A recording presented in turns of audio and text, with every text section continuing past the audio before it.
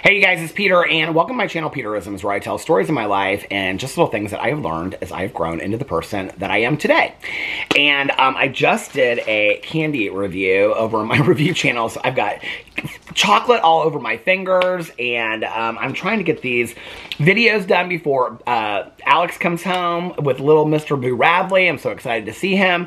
And we just got back in uh, to Indiana from Las Vegas late last night. We were in Las Vegas for the last four days um, for anniversary, which is why I haven't been filming over here on any of my other channels except for my vlog channel. But I missed you guys, and um, I kept on posting like inspirational quotes and stuff on my Instagram while I was gone. And um, so many of you like will always like if I put up an inspirational quote, will say, "Oh, I really needed to hear this today," or "This really helped me. I really, really appreciate it." And um, and I, and I just want to say that means a lot to me. Obviously, I'm not the one coming up with the quotes; I'm just resharing them. But the things I reshare are typically kind of uh, something that like if I read it and it just resonates with me in that moment. So if you follow me on Instagram, I post a lot of like rescue dogs, rescue squirrel stuffs, stuffs, rescue uh, squirrel stuffs. But um, I also like reshare a lot of inspirational quotes that I hear, and they can be very short, they can be very long, things like that. But it's typically something that resonates with me in that moment. Um, and so I put this quote up, and somebody messaged me and said, uh, I think this would be great for a Peterisms video. And so it, it was actually, it's really, really short. It's something that I used to talk about over here all the time. Um, it's something that my mom used to say all the time. So I thought, well, this would be kind of an interesting video to make. I don't even know what direction I'm going to go in, in all honesty, but I want to read the quote to you because somebody said, I would love to hear you talk about this in a Peterisms video or something like that, or I think this would make a great topic for Peterisms video. And so the quote is, and it is from femaleempire.com or .co, and the quote is, we are really on borrowed time. Choose people that choose you and just let everyone else be. And I think it's such a great quote. Um, oh my God, there's chocolate all over the place. Gonna have to clean this up. Um, I think it's such a great quote. So my mom, when my mom was alive, she used to always say, we're on borrowed time as it is. It was like something that she would always say. She would always say, we're on borrowed time, right? Like, don't spin your wheels getting frustrated over things that you can't control. Don't spin your wheels getting frustrated um, over things you can't change or things that happened in the past. Um, you know, I can remember my old sponsor, he has since passed away, my, you know, 12-step sponsor, said to me, two things he would say to me is, number one, 90% of the things that we worry about never even happen which I think is so profound when you talk about being on borrowed time. And what borrowed time means is that we none of us know like when our last day is going to be, right? Like I think, you know, everything really changed for me in the moment like, you know, or the the months after the accident because then I had to start, you know, asking myself how do I want to look at the world and look at my life and other people's lives in relation to what happened? Like, I don't want this just to be this thing that just happened and just, it, like, and learn nothing from it, right? And so, simple things, small things, relationships, time was always very, very precious to me. But after the accident, it just, it, it multiplied and multiplied a hundred times over that, right? To where I really realized, like, I should have, I should have died in the accident. And that's a reality. I should have died in the accident. And so the fact that I'm still here, it's it's all borrowed time, you know. Um, and there's I've had lots of close calls in my life where I shouldn't be here anymore. And so the fact that I am, you know, and there are you know people every day that you know are fighting for their lives or losing their lives, or you know children and you know children's hospitals that are fighting for just one more hour to live and things like that, and and how much time I've wasted in my life over just meaningless stuff and, and worrying about things that I can't control at all. And like I said, my old sponsor used to say to me, 90% of the things that we worry about never even happen, never even come true. And the other thing he would say to me is, you, you can't, like, the, the kind of idea of don't cry over spilt milk. Like, you can't change anything that happened even 30 seconds ago. You can learn from it, but you can't change it, right? So, to, con to consume yourself with worrying about all this kind of stuff. it was interesting because I've talked about this on all my other channels, so I might as well bring it in here. On our anniversary in Las Vegas, we were at the pool and my bag got stolen. And in there, I had like my phone and credit card and some other stuff. But like, the next couple hours were really kind of focused on trying to figure out where the bag was, if, if it was able to be found, you know, where the credit card was used, calling the, canceling the credit card, getting a new phone, all this kind of stuff, right? And there was a moment when I just was able to not really laugh at the situation, but I, I realized like I was kind of caught up in the chaos of the moment, right? And this is where I talk about this toolbox that I have. Like people all the time are like, you stay positive how, all the time. How do you, I don't, I'm not positive all the time. I have a toolbox of tools that I use to help me stay positive, right? Like I use these things and I use memories that I have and things I've worked through and, and all that kind of stuff.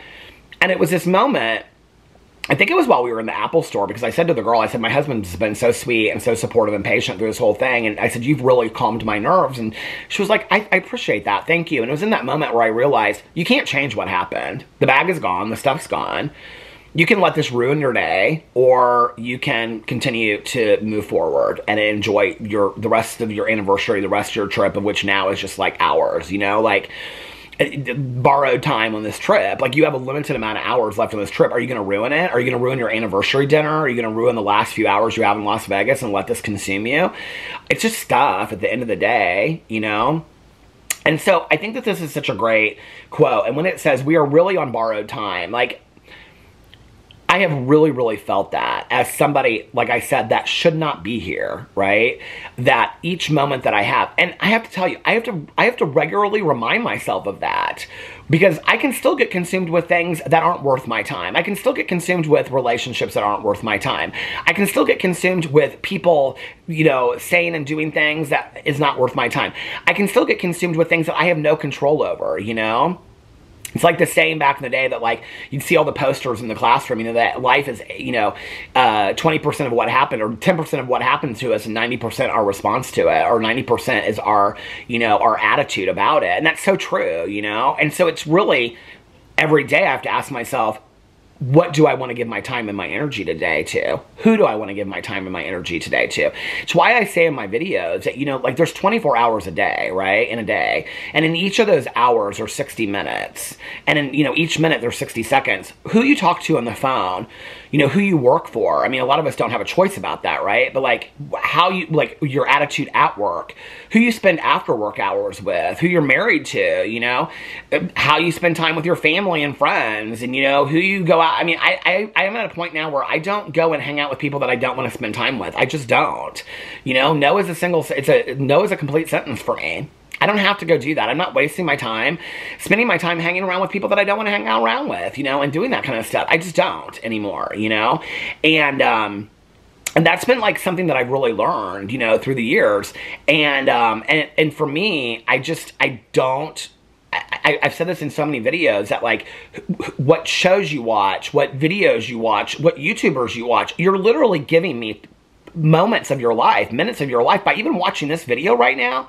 By watching this minute, if you've made it, if you've watched this video to this point, which is the 8 minute and 20 second mark, you've given me 8 minutes of your life. Like that's powerful, right? Like that's super super powerful.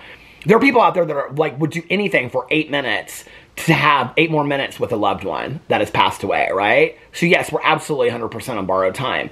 So the rest of it says choose people that choose you and just let everyone else be. I don't have anybody in my life today that doesn't choose to be with me, you know? Um, I just talked about this in my Peter Desta video talking about our anniversary, but I've talked about it enough over here. The the message that I learned in marriage counseling years ago that Alex and I, I'm not dependent on Alex. I don't need him. I'll be just fine if we don't make it. If our marriage fell apart, I would be sad. I would be devastated for a while, but I would move on. I would be fine, you know? Um, and we choose each other. We choose to be, I mean, that is so powerful that after 16 years, we still choose each other. I choose people today in my life and they choose me, or we're not in each other's lives. The rest of it, where it says, but let everyone else be, like that's hard sometimes, right? Because it's like people want to like, you know, throw out like fishing poles and hook in you and like pull it in, right? And so it's the resistance over that. It's the resistance of, at the end of the day, when I focused more on positivity than negativity, am I happier? I'm definitely more happy when I'm focused on positivity, you know? When I'm struggling with something, I'm struggling going through something, at the end of the day, I lay in bed and I learned this from the, the Rhonda Byrne book Magic years ago where it talked about the magic rock at the end of the day, which I think I still have over here was this heart-shaped rock. Hold on a second. I think I still have it in here. Um, it was this, yeah, it was this heart-shaped rock. Ah, right here and I still have it, you know? And what I learned in that was that focus on the most positive moment at the end of the day. When I'm going through something, I continue to do that today, right? Like I look, I think about Little Boo Radley, you know, I'll pet his head and I'll think about him like running through the yard or Alex and I laughing about something. I, I, I stay off the negative and I focus on the positive because that really helps me today, you know? And I choose people that choose me. I don't surround myself with a bunch of people that I feel like I have to go do stuff with or they feel like that. I don't want relationships like that. Life is way too short. Don't be wasting your time and your life on people that don't want to be there and you don't want to be there at all. Choose people that choose you you know, and spend your time valuably on doing things, if that's even a word. Spend your time valuably or doing things that mean the most to you. That if you were holding a rock at the end of the day of you what were the things that you were happiest about spending your time on that day that you could look back and say these are the moments that matter the most to me. Anyway, let me know what you think in the comment section below. I love you guys and I will see you tomorrow. Bye.